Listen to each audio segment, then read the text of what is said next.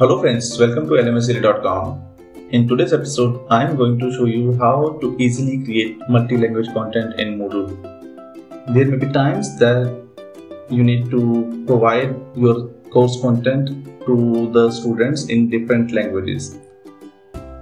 A student can have any language uh, as their preferred language in Moodle and you can create the content so that it will be displayed automatically in their preferred language.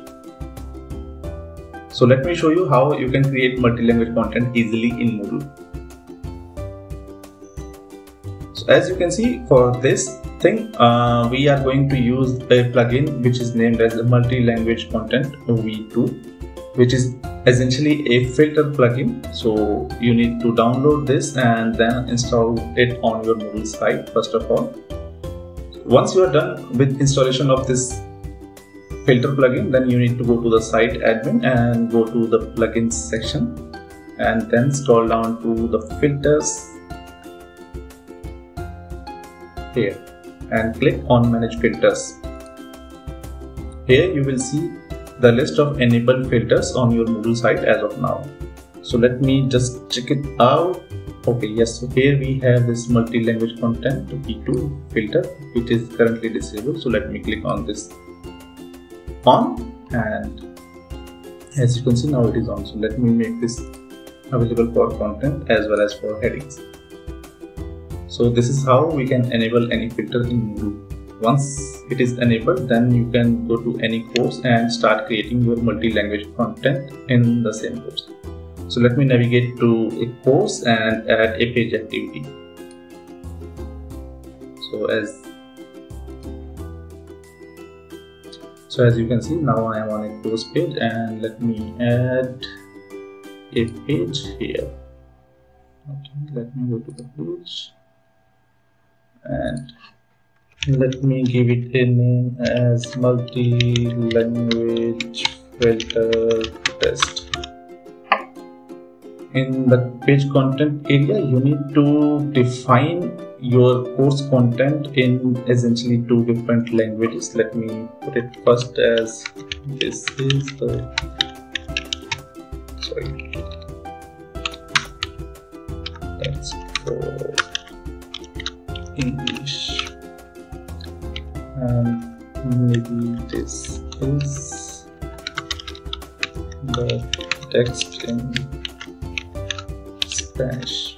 Let me show you how to define the text so that this specific text will only be shown to the users who have English as a preferred language and this specific piece of text will be shown to the users who have the Spanish language as a preferred language.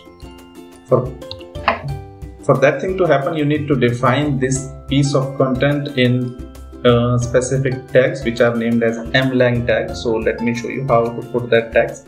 You need to start it with the curly braces like this and then put mlang and you need to give the name of this language as en since it is English so it is defined as en and then you need to close this brackets. And afterwards you need to put the closing tag for this English language as again mlang and the curly braces and that is it so this piece between these two tags will be shown for the users who have English as the preferred language. And similarly let us define this tag for the Spanish language here below. So instead of en it will be es and I will just copy this another tag in the bottom. Yeah I hope that it shall work now. So let me just click on save and display. So I have English as the preferred language so we shall see only this line and not this line for us. So yes as you can see that now this is the text for English. I can see only the text which is mentioned in the English language.